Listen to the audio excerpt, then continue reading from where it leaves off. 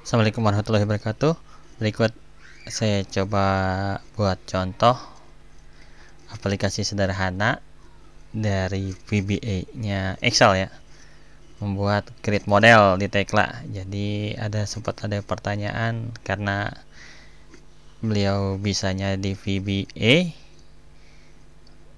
dan belum terbiasa menggunakan sisap ini sebagai contoh di VBA oke.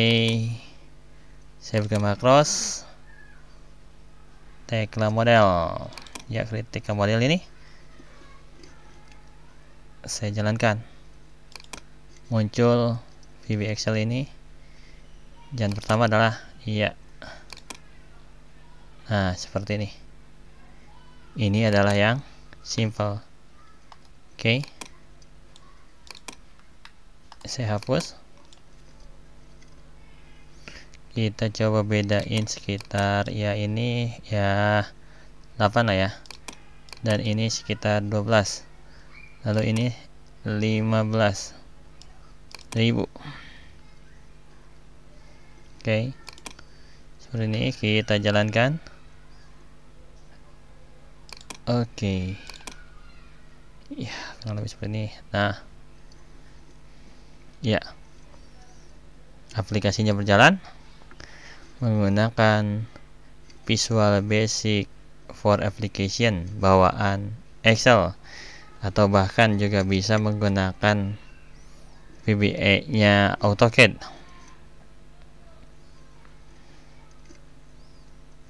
Jika dibuat ya oke ini contohnya untuk yang sederhana. Oke jaraknya dapat ya 15.000 ini. Dan ke sininya 10.000 sama X dan Y. Oke.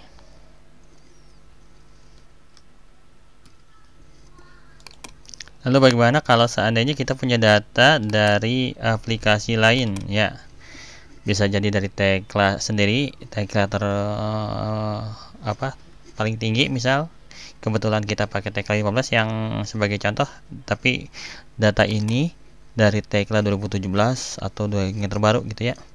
Atau bisa jadi ini uh, berdasarkan dari uh, aplikasi lain seperti AutoCAD, Revit, SolidWorks, Navis, Navisworks ya. Tapi menggunakan data yang sesuai kita butuhkan yaitu terdapat profil, material, juga start dan end point. Oke, di sini kebetulan sebagai contoh saja uh, ada sekitar 150 eh 1557 benda di sini. Oke jalannya adalah oke okay, makros excel to tekla 15 karena ini excel ya. Kairan. Ya.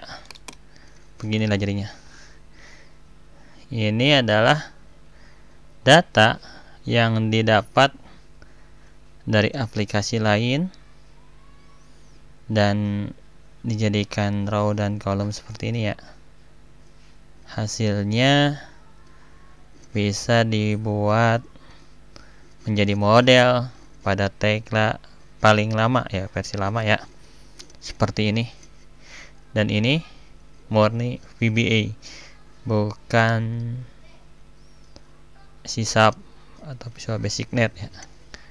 Ini VBA sebagai contoh saja sederhana tanda tanpa ada cutting tanpa ada connection tanpa ada baut jadi ini hanya sebagai contoh saja bahwa di Excel eh bahwa Tekla itu bisa